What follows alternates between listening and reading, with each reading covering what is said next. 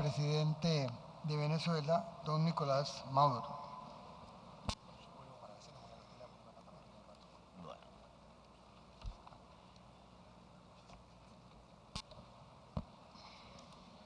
Buenas tardes, queridos compañeros, compañeras, presidentes, presidentas, primeros ministros, primeras ministras de América Latina, del Caribe, presidente Luis Guillermo Solís, gobierno de Costa Rica. Verdaderamente hay que decir gracias a la vida que nos da esta posibilidad de vivir intensamente una nueva era histórica que se ha abierto en América Latina y el Caribe. Y que ha costado varias generaciones, varias generaciones, como bien lo dijera ahorita con su sabiduría y su sencillez, nuestro querido presidente Pepe Mujica, que siempre nos conmueve con su reflexión profunda. ¿Cuánto ha costado llegar hasta aquí? ¿Cuántos caminos llegan hasta San José de Costa Rica? Por lo menos 200 años de búsqueda. Desde la generación de libertadores que de manera brillante levantó y fundó nuestras repúblicas hasta varias generaciones del siglo XIX, XX,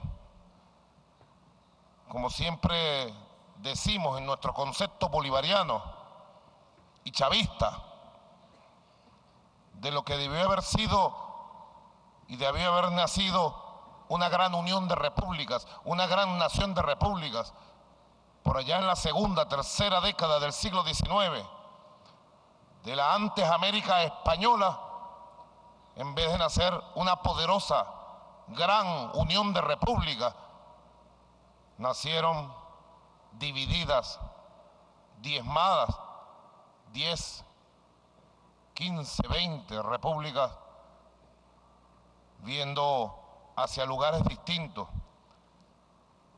El siglo XIX fue el siglo donde se partió un sueño.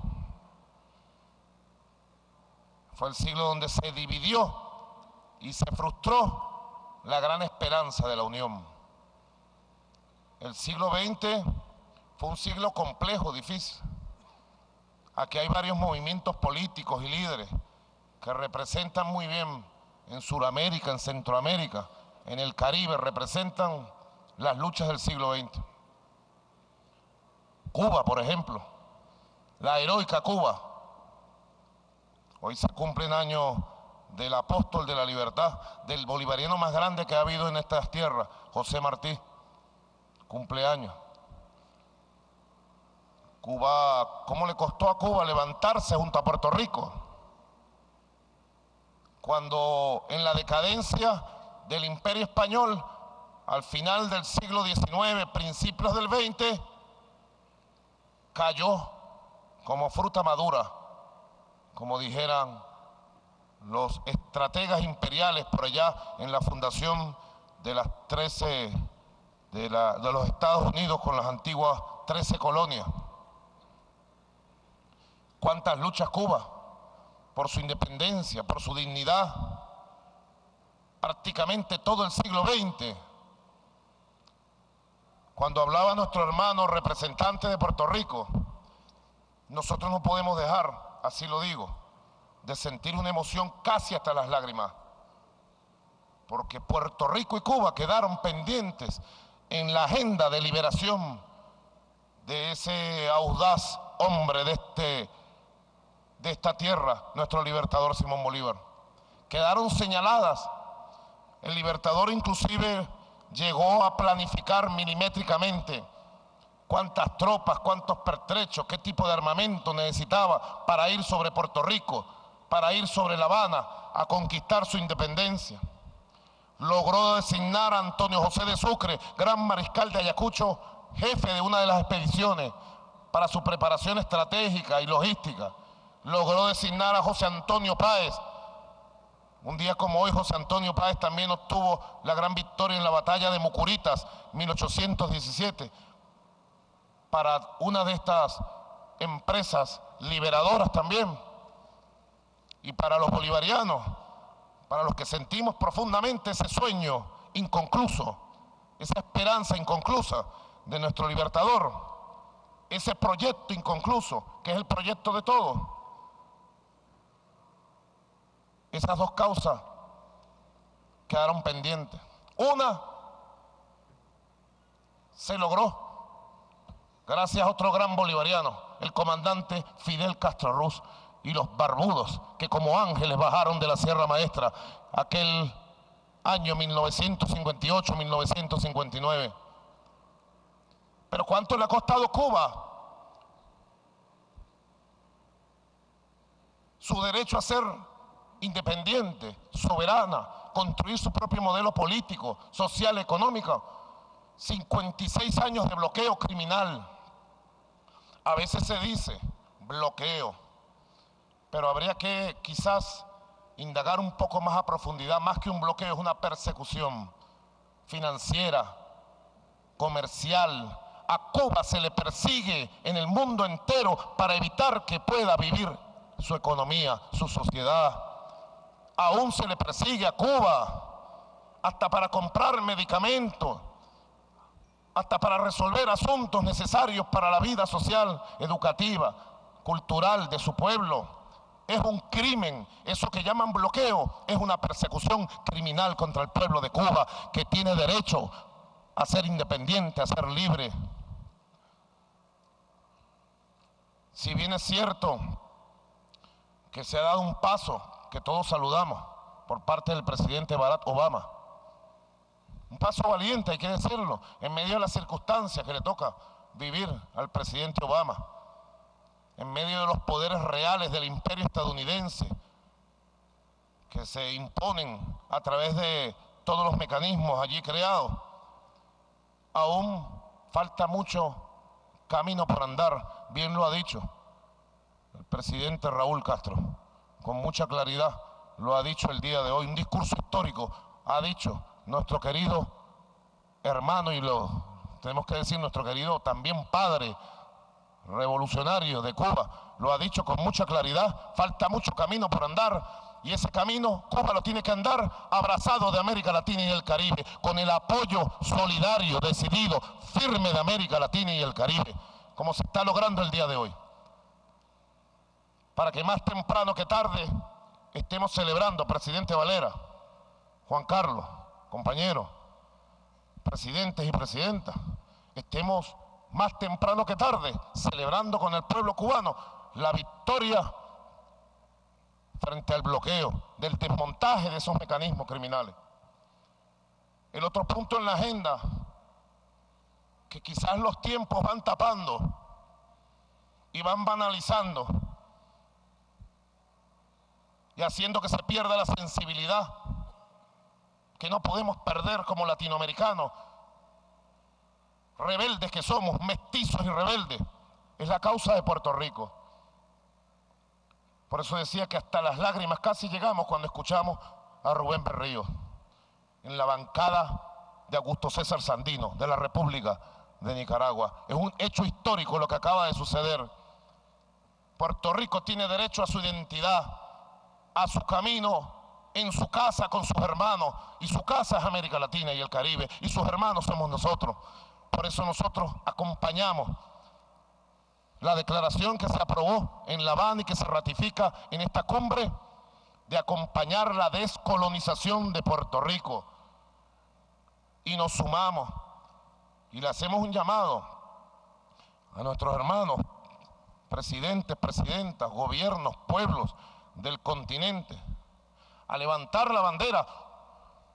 Yo recuerdo mucho, a pesar de la edad corta que teníamos, en los años 80, 90, recuerden ustedes cómo ese gigante de la humanidad llamada Nelson Mandela era prácticamente un olvidado. Pocos levantaban la bandera de la dignidad contra la apartheid.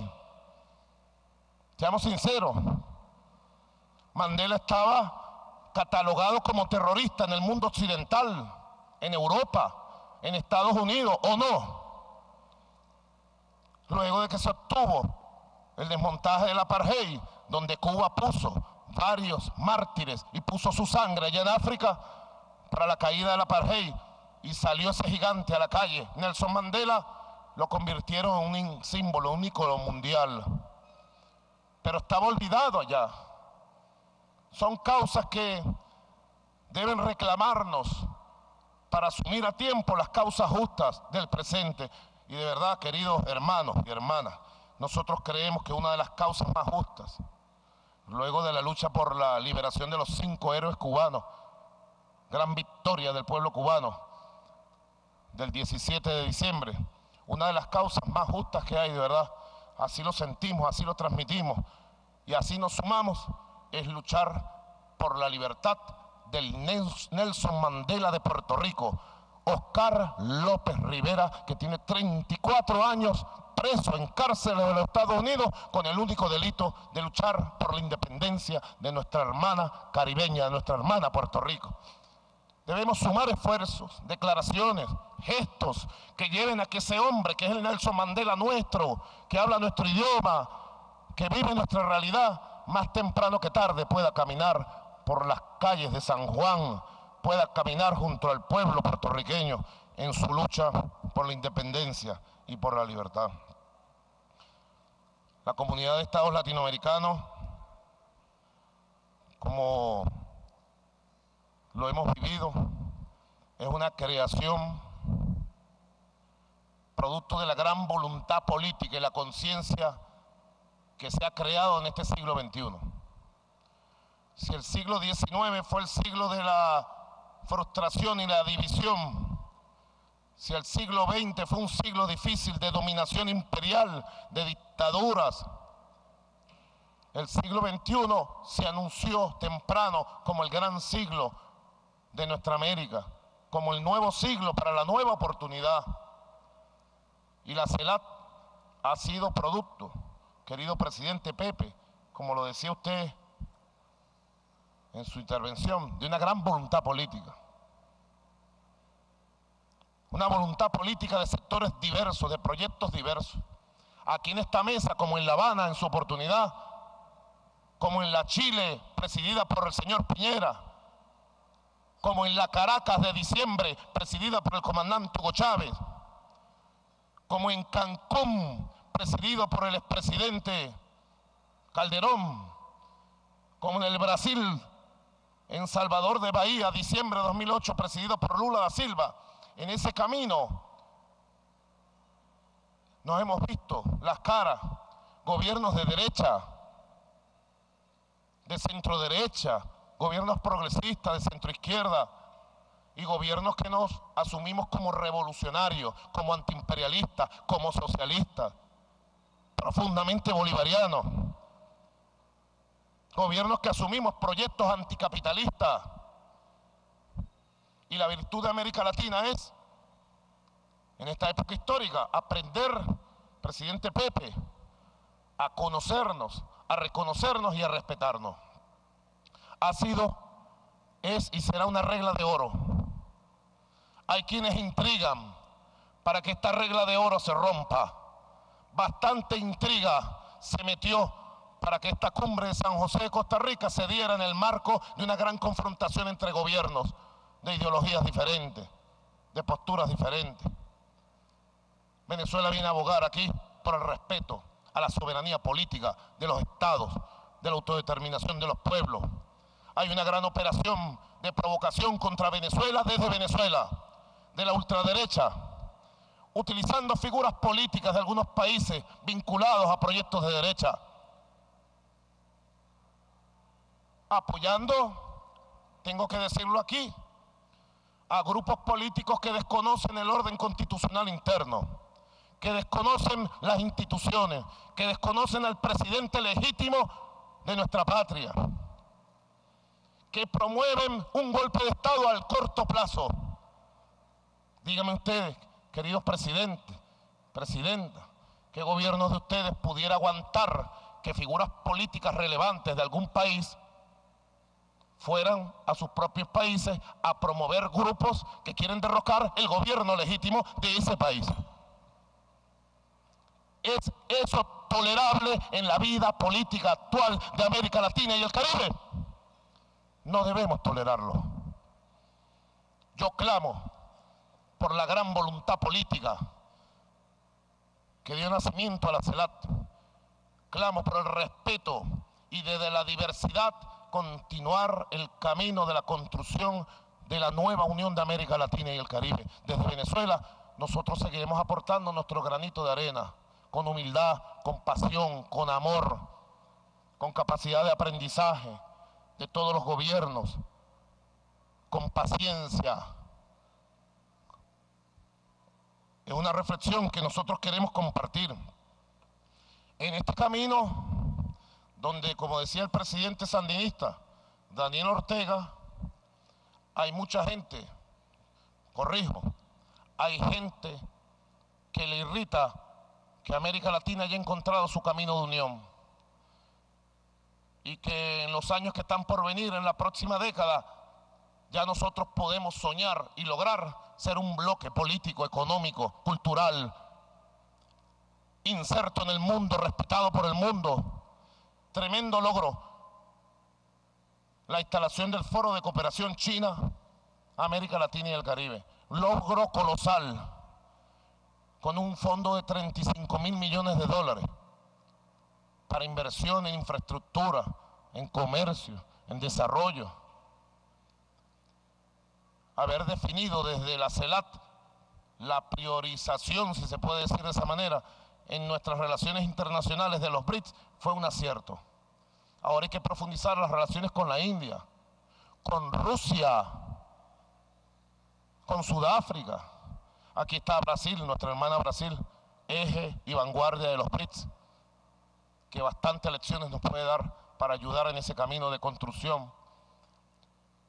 Qué bueno poder soñar, tener un poderoso bloque nuestro, nuestro americano. Con Estados Unidos la historia ha sido larga de confrontación. Presidente Varela, vamos para Panamá el 10 y el 11 de abril. Panamá, Allá va a estar el presidente Obama. Y con el presidente Obama, seguro, en esa cumbre tendremos la oportunidad de intercambiar de manera franca y respetuosa criterios sobre el futuro de las relaciones entre Estados Unidos de Norteamérica y América Latina y el Caribe. Fíjense qué ventaja poder hablar con una sola voz América Latina y el Caribe por primera vez en la historia de 200 años de existencia y poder hablar con la otra América, como dijo el presidente Raúl Castro. Hablar las dos Américas, la América del Sur, mestiza, orgullosa de su historia, en vías del desarrollo, la América no imperial, la América que sueña en democracia, que sueña en diversidad, con la otra América, que algún día tendrá que dejar de soñar con el lenguaje del imperio, de actuar con el lenguaje del imperio. Algún día el mundo de los imperios se acabó.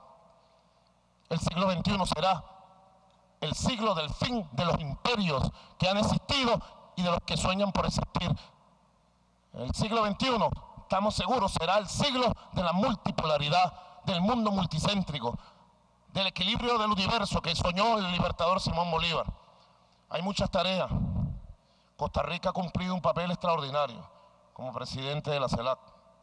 Extraordinario, de verdad y ha mantenido el ritmo del trabajo, de la construcción.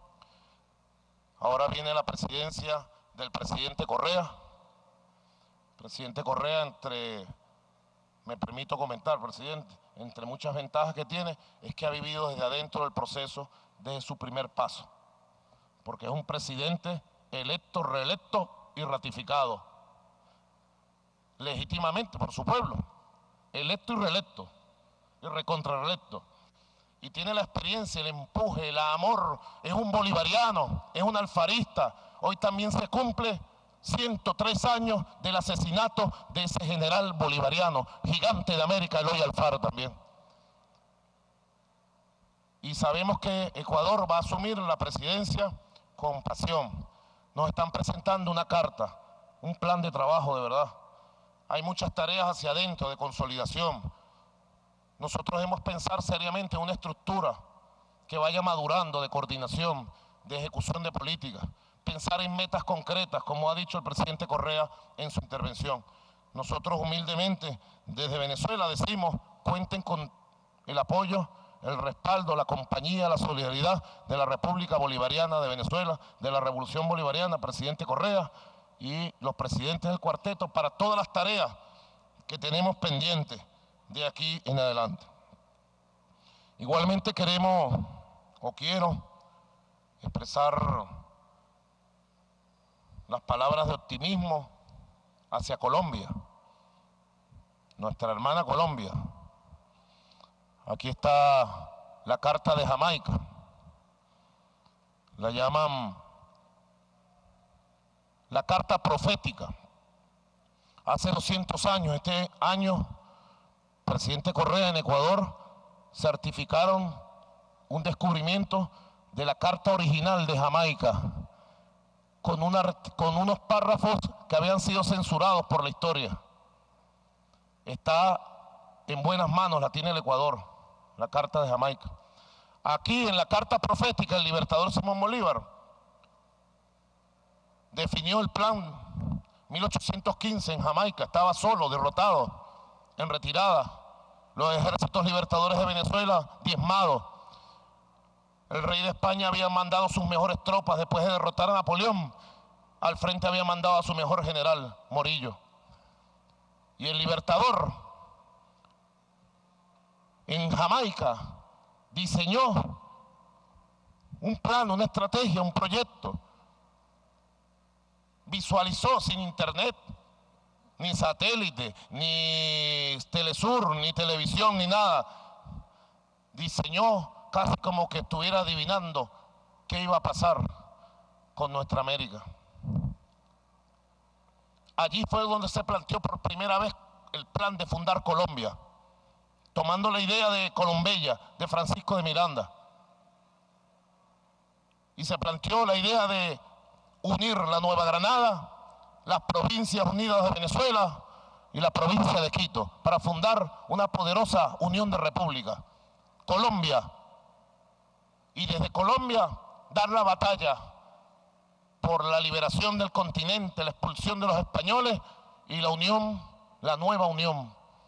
Ya aquí visualizaba, presidente Juan Carlos, visualizaba aquí a Panamá como el centro de un congreso anfictiónico.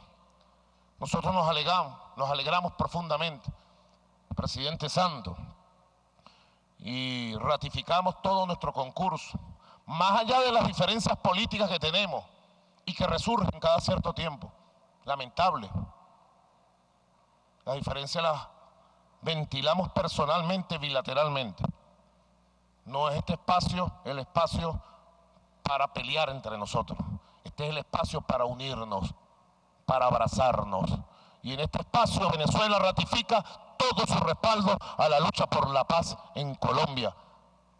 Todo lo que tengamos que hacer y más allá, que se ha hecho y que se pudiera hacer, estamos a la orden total del presidente Juan Manuel Santos para construir la paz en Colombia, a pesar de los pesares de los ataques que se nos hagan desde Bogotá y desde Colombia. Venezuela, la patria de Bolívar, está con Colombia en la búsqueda de la paz. Por último, queridos presidentes, inspirados en, en la intervención del presidente panameño, nos tocó una tecla que tenemos por aquí siempre muy sensible cuando habló de la Carta de Jamaica, 200 años. Estaremos en Jamaica con la primera ministra Patterson. Estaremos allá el 6 de septiembre conmemorando los 200 años de la Carta de Jamaica y ratificando todo nuestro camino de construcción de Petrocaribe y de todas las formas de integración de nuestro continente. Tomábamos de esta Carta de Jamaica Y con esto quiero terminar nuestra intervención y nuestras reflexiones, precisamente tomándole la palabra al presidente de Panamá, recordando la carta profética del libertador donde decía, hace 200 años exactamente, es una idea grandiosa pretender formar de todo el mundo nuevo una sola nación con un solo vínculo que ligue sus partes entre sí y con el todo, ya que tiene un origen, una lengua, unas costumbres y una religión, debería por consiguiente tener un solo gobierno que confederase los diferentes estados que hayan de formarse. Mas no es posible porque climas remotos, situaciones diversas, intereses opuestos, caracteres de semejantes dividen a la América. Qué bello sería que el istmo de Panamá fuese para nosotros lo que el Corinto para los griegos. Ojalá que algún día tengamos la fortuna de instalar allí un augusto congreso de los representantes de las repúblicas, reinos e imperios a tratar y discutir sobre los altos intereses de la paz y de la guerra con las naciones de las otras tres partes del mundo. Y finaliza este párrafo casi profetizando este tiempo que estamos viviendo cuando dice de ese congreso que él soñó hace 200 años, dice, esta especie de corporación podrá tener lugar en alguna época, dice el libertador, esta especie de corporación podrá tener lugar en alguna época dichosa de nuestra regeneración. Otra esperanza es infundada. Esta es la época dichosa de nuestra regeneración y también de nuestra reunión. Cuidémosla con amor, con mucha voluntad política y sigamos construyendo la unión en la diversidad, que es el gran poder de la nueva América Latina, del nuevo Caribe que ha nacido. Gracias, presidente.